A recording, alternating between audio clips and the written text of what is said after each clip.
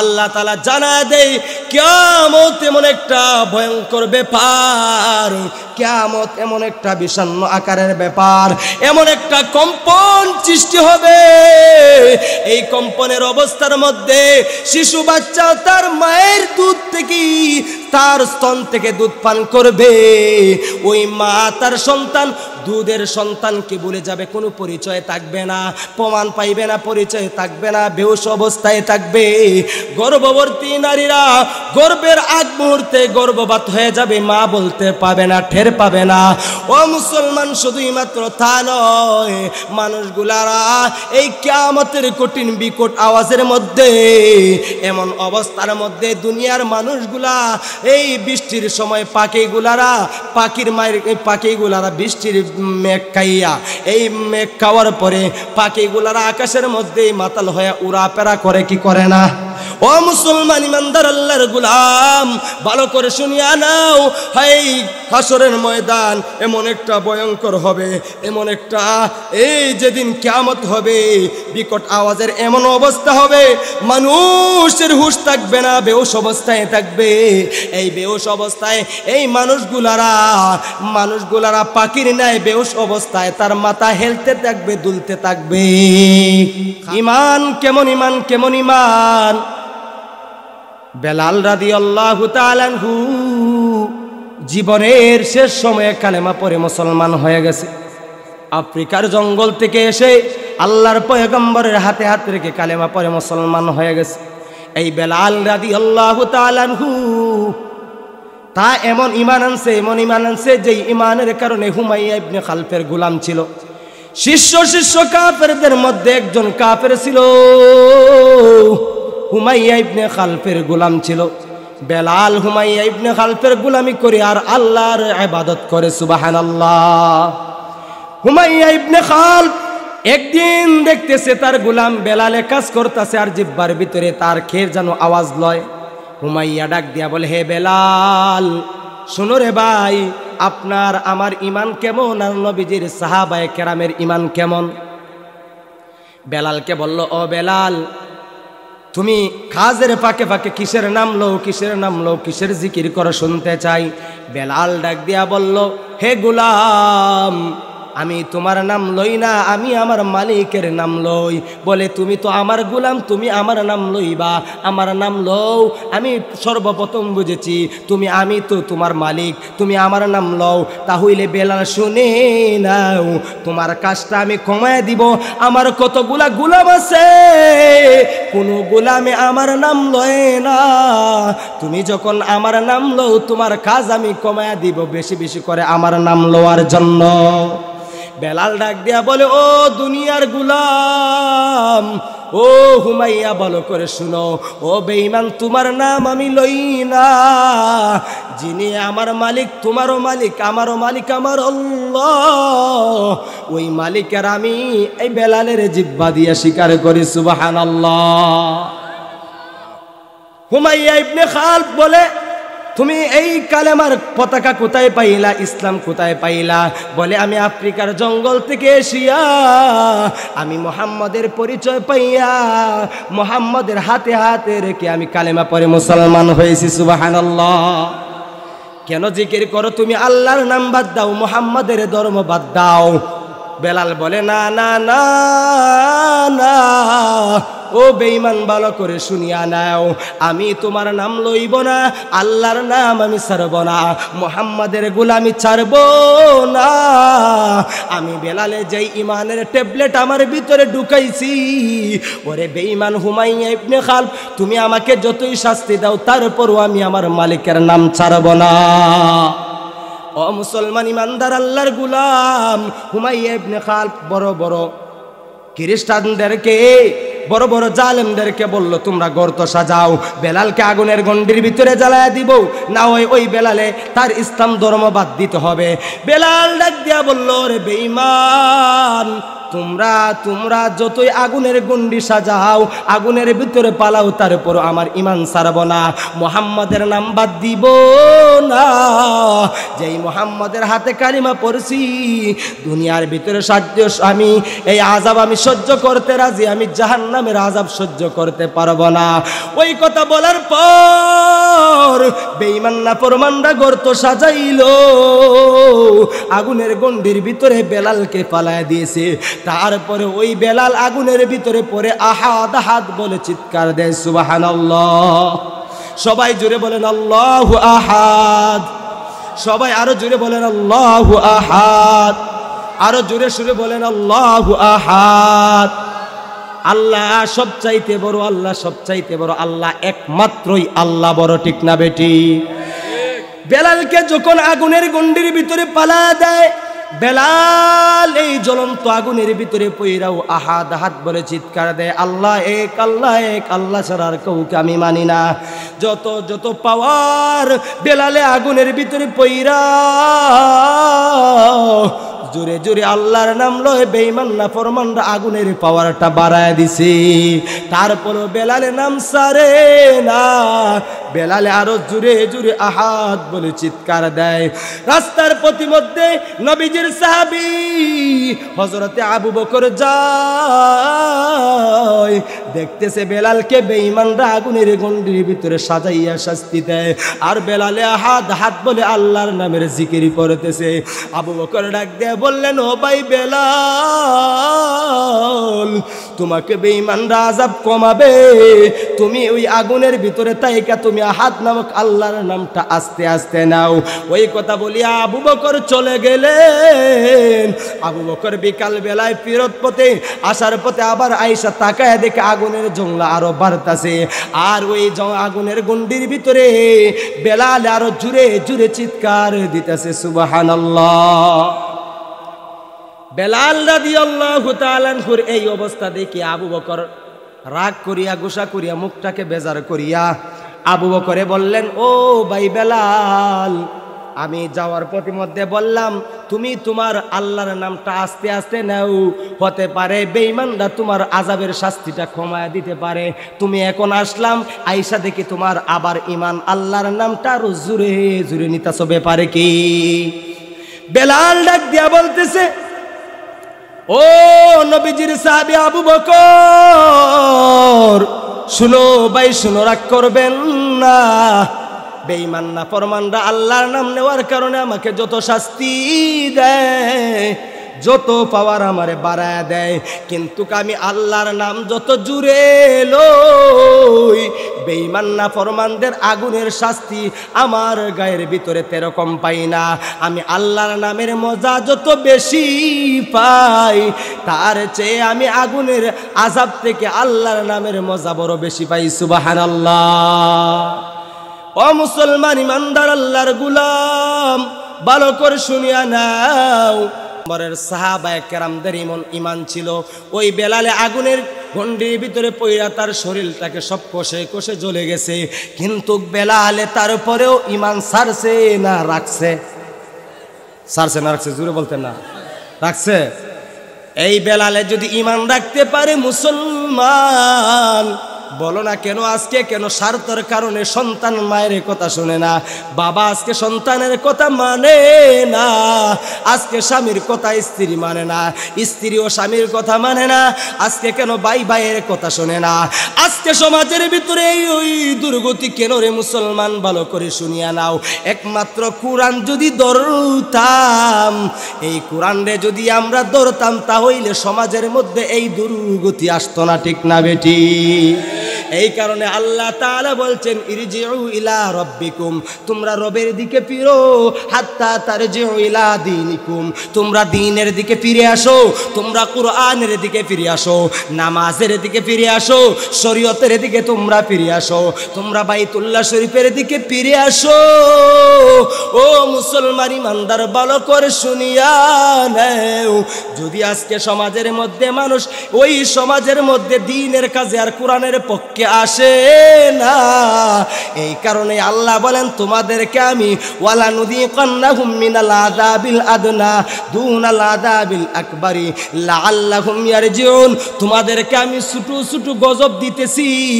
তোমাদের এই ভুলগুলাকে সংশোধন করার জন্য ঠিক না বেঠি য- যখন সময় বড় বড় গজব আমি আল্লাহ তালা দিব, তখন সময়ে তোমরা তোমাদের ইমান নিয়ে অন্ধকার কবরে আসতে পারবা না। তার আগে আগেই তোমাদের ইমানটাকে তাজা করার জন্য সুবাহান আল্লাহ ও মুসলমান ইমানদার আল্লাহর গুলাম, ভালো করে শুনে নাও, নবীজির সাহাবি বিলাল, বেলাল রাদি আল্লাহ তালানহু ইমান ছাড়েন নাই। এমন ইমানের পাওয়ার ছিল, দুনিয়ার ভিতরে, আগুনের ভিতরে জ্বলছে তারপর ইমান ছাড়েন নাই। আজকে বলেন তো, আপনি আমি ইমান দিয়ে আনছি, আপনি আমি কোনো কষ্ট করছি না সহজেই বাস্তা আপনি বলেন তো, ইসলামের জন্য মায়ের খাইছেন? আমিও তো মায়ের খাইছি না, আমিও হইয়া লাভ নাই, আমিও মায়ের খাইছি না। আমিও মায়ের খাইছি না, আপনারা খাইছে? আমরা হুজুরের কাছে ছোটবেলায় মক্তবে গেছি, কালিমা পড়ছি, মাদ্রাসায় পড়ছি, কোরআন, হাদিস পড়ছি। আমরা কালিমা পড়ছি, মুসলমান হয়েছি নামাজ কালাম যতটুক সাধ্য অনুযায়ী হক আলাল মতো চলার আমরা চেষ্টা করি, ঠিক না বেটি? কিন্তু ইমানটাকে আমাদের দুনিয়া আসল মূল না, ব্যবসা আমার মূল না, বিদেশ যাওয়া মূল না আমাদের গাড়ি চালানো মূল না আমাদের রাজপ্রসাদ আমাদের মূল না আমাদের মূল হলো আল্লাহর গোলামি করা, ঠিক না বেটি? আল্লাহ তালা আপনাকে আমাকে কেন বানাইছে? কেন বানাইছে?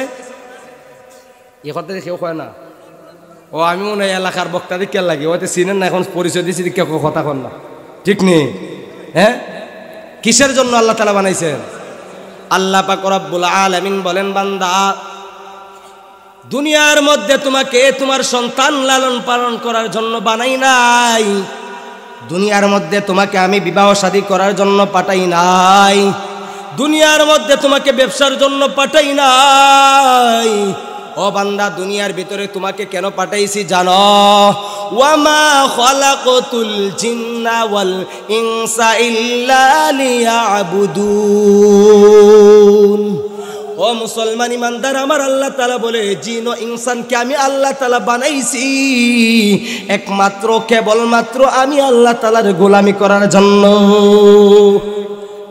এখন আইসা আপনি, আমি গোলামি করিনি। সুদের মধ্যে লিপ্ত, ঘুষের মধ্যে লিপ্ত। আজকে ইমান আছে ঠিক, নাস্তিকের সাথে আমাদের সংযুক্ত আছে না নাই? আমরা বিভিন্ন অফিসের সাথে, বিভিন্ন ব্যাংকের সাথে জড়িত। বাংলাদেশের মধ্যে ইসলামী ব্যাংক আছে। নামে ইসলাম, কিন্তু খামের বেলা ইসলামী নাই। ঠিক না বে ঠিক যারা জানেন তারা বলতে পারবে, নাম হলো ইসলাম, ভিতরে ঢুকানি দুশ্মনী, শয়তানি বদমাসি ঠিক না বেটি ওই মুসলমানদের টাকাকে বেঈমান, নাফরমানরা অস্ত্র বানানোর একটা যুক্তি করছে, সমস্ত ব্যাংক, যত ব্যাংক আছে, সমস্ত ব্যাংক হলো খ্রিস্টানের। কিন্তু ইসলামী ব্যাংক বেশি বছর হয় নাই। তারা সবাই চিন্তা করল, মুসলমানরা তো যে টাকা কামাই করে, এই টাকা নিজের ঘরের মধ্যে রাখিয়া দেয়, তার বাক্সের মধ্যে, সন্দুকের মধ্যে রাখিয়া দেয়। এই টাকাগুলো যদি আমাদের হাতে না থাকে, এই টাকাগুলো যদি আমাদের হাতে না থাকে, তাহলে আমরা এই টাকা দিয়া অস্ত্র। আজকে দেখা যায় আপনিও রুজি করেন, আমিও রুজি করি। খ্রিস্টানরাও রুজি করে, তারা কি আমরা থেকে বেশি রুজি করে? রুজি করে? তারা যেরকম খাচ্ছি না, মুসলমানরা চিনে না ডাক্তারি চিনে না, ইঞ্জিনিয়ারই চিনে না কৃষিকাজ চিনে না সব কিছুই চিনে, কিন্তু খ্রিস্টানের টাকা কেন অত বেশি? অস্ত্র কেন অত বেশি? আজকে এত বাহিনী কেন অত বেশি? যুদ্ধা বিমান কেন তো বেশি? মুসলমানদের টাকার পাহাড় ব্যাংকের মধ্যে জমায় আর এই টাকাগুলা নিয়ে বিভিন্ন রাষ্ট্রের সাথে সংযুক্ত করে টাকা জমাইয়া মুসলমানদের টাকা দেয়। কয়টা মুসলমানদের তো সুদ মানে লাভ নেয় না, এটা তো সুদ হইয়া দেখিব। এই কারণে আসল টাকা দেয় আর বাকি টাকা অন্য রাষ্ট্রের মধ্যে টাকা দিয়া লাভ করে আসে। অস্ত্রর টাকা বেশি হইয়া যায় অন্য রাষ্ট্রর, এই টাকা দিয়া তারা অস্ত্র বেশি বেশি অস্ত্র বানায়। আর তারা এরকম মানুষরাকে একটা যুবককে যদি বলেন, আপনি ফাঁসত্ব, আপনি সারাদিন খালি খাবার খাইবেন মন মতো চলবেন। এই ছেলের, আমিও যদি খালো মানুষ, যদি আরামায় আসে, তাকে আমার খালা চেহারা থাকবে। হ্যাঁ? আনসারি আনসারি রহমতুল্লাহ আলাই যারা দেখছেন জুবার আহমদ আনসারি বয়ান করতেন, উনি আমার মতো খালো আসলেন। আমার মতো কালো আসলেন, কিন্তু আনসারির যখন হাত এমনি বার করতেন, যারা দেখছেন, বলতে পারবেন দুধের মতো সাদা ছিল। ঠিক না বেটি? যারা দেখছেন বলতে পারবেন ওতে চেহারাটা হ্যাঁ মেন চেহারাই রয়ে গেছে, একটু এদিক সেদিক হয়েছে, কিন্তু তার চেহারা তার চেহারা থেকে তার সমস্ত বডি এত দুধের মতো সুন্দর সুবাহান আল্লাহ আরাম আয়াসে থাকলে পরিবর্তন হয় কিনা খ্রিস্টানরা অনেক মানুষে টাকা পয়সা দিয়া বলে, তোমার সব সময় কাজ হলো আসমান রে নিয়ে গবেষণা করা। তুমি আজকে খ্রিস্টানরা জাহাজ বানাইছে, হেলিকপ্টার বানাইছে, বিমান বানাইছে হ্যাঁ আজকে রকেট বানাইয়া সাদের দেশে যায়, মুসলমান যাইতে পারে না, কারণ কি তা? মুসলমানদের টাকা নিয়া তারা জমাইয়া, তারা অস্ত্র বানাইয়া, তারা মানুষকে যথাযথ যদি পাঁচশো টাকা দিন মজুরি লোকরা যদি বলে, আজকে তোমার এক হাজার দিমু। হৌ এ সকাল ঠিক আছে হে রাত্রে আর ঘুমাইতো না, আগামীকালকে আমার পাঁচশো টাকা খামলা রোজ আমি দেই, এক হাজার দিব, হে রাত্রে আর ঘুমাইতো না, কালকে উঠটা যাতে আমার ঘুমের কারণে আমার কাজে যাওয়া নষ্ট না হয়, আগেই চলে যাইব, ঠিক না বেটি? হইব, আমি দুই দিনের কাম একদিনে আমার বেড়া দিতেছে, আমি আগে যাওয়া বলা নানি তো এইরকম মানুষটা খ্রিস্টানরা টাকা পয়সা বেশি দিয়ে আরামে এসে রাখিয়া তার মেধা রাখছে ভালো হ্যাঁ ভালো খাবার দাবার খাইয়া মেধা পরিষ্কার রাখিয়া এমন অবস্থায় হয়েছে তুই হেলিকপ্টারের খুঁজ নে। এই কোরআনের মধ্যে হেলিকপ্টার বানানোর হ্যাঁ জাহাজ বানানোর হ্যাঁ রকেট বানানোর, দুনিয়ার ভিতরে মোবাইল বানাইছে, যা কিছু আছে সমস্ত বানানোর, এই রিচার্জ করেছে বেইমান নাফরমানরা এই কোরআন থেকে ঠিক না বেঠিক। সব কিছু বানানোর ক্ষেত্রে এই কোরআনের ভিতর আল্লাহ তালা জানায় দিয়েছে। কিন্তু আজকে মুসলমানদের ফ্যাট নিজের ফ্যাট যান বাঁচাইতে পারে না। সে রকেট বানানোর চিন্তা করবে কেন ঠিক না বেঠি? যে কথার মধ্যে আসলাম, ইসলামী ব্যাংক। ইসলাম, ইসলামী একটা ব্যাংক দিছে ইসলামী একটা ব্যাংক দেয় তা হইলে সমস্ত মুসলমানরা যে টাকা পয়সা তৈব, লাভ নিত নয় ঠিকই তারা এই টাকা দিয়া লাভ, অন্য রাষ্ট্রের মধ্যে টাকা দিয়া লাভ না, তারা পেট ভরে। আর মুসলমান আপনার আমারে গরিব বানাইয়া, দিন তো দিন আমাদেরকে নিচে, নিতে নিতে, সাগরের নিচে নিয়ে একবার পাথর চাফা দিয়ে মাইরা ফেলাইতেছে, ঠিক না বেটি? আলেম উলামাদের মত। বর্তমানে হকানি আলেম উলামাদের মহাকিকনের মত হলো যে, ইসলামী ব্যাংক হোক, যে কোনো ব্যাংক হোক, তুমি টাকা, এক কোটি টাকা তৈবা প্রতি বছরে, এক কোটি টাকা, দুই লাখ টাকা এক বছরে লাভ হয়। বলেন না? আছে না নাই? এক কোটি টাকা, দুই লাখ টাকা লাভ হয়। এক কোটি টাকা, দুই দুই লাখ টাকা লাভ হয়। এই দুই লাখ টাকা লাভ তুমি আনতায় মুসলমান তো তুমি। তুমি এই লাভ নিতায় না আনতায় আইনা জনসাধারণ, মানুষের গরিবের বাথরুম নাই, বাথরুম করে দেও। সুদ তো তুমি খাইতে পারো না। মুসলমান, যাইজ না, কি করবা? এই টাকা দিয়ে বাথরুম করে দাও। রাস্তা ভালো না, রাস্তাটা ফাঁকা করে দাও।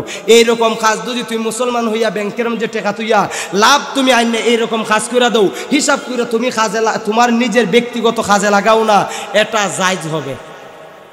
আরে বলেন না আমার কথা বিশ্বাস না হইলে বাহুবল কাসিমুল মাদ্রাসার আলেমুল আমাদের সাথে যোগাযোগ করিলেন আপনারা মিরপুর হুসাইনিয়া মাদ্রাসার সাথে যোগাযোগ করিলেন হ্যাঁ হামিদনগর মাদ্রাসার সাথে আউলামা একরামদের সাথে যোগাযোগ করিলেন চিন্তা করে, গবেষণা করে দেখা গেছে, ইসলামী ব্যাংক নামে ব্যাংক খামে কিন্তু বাট বাটফারি ঠিক না বেটি।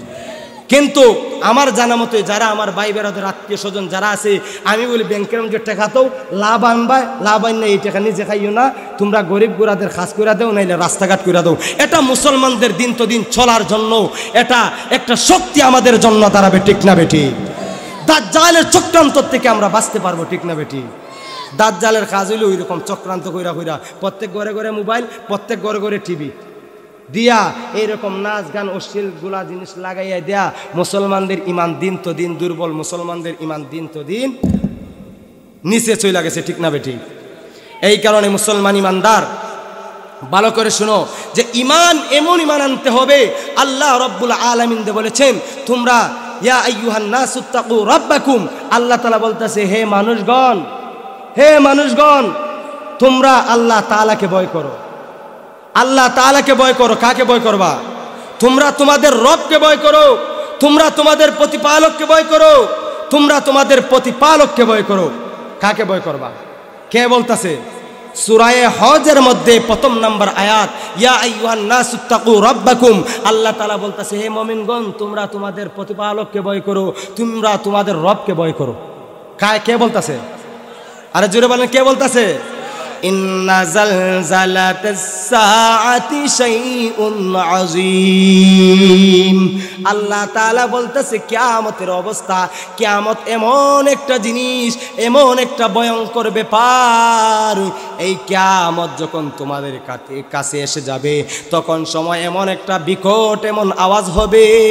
ইসরাফিল আলাইহিস সালামের সিঙ্গারপুর কারণে মানুষগুলা হাহাকার হাহাকার অবস্থায় হয়ে যাবে, ঠিক না বেটি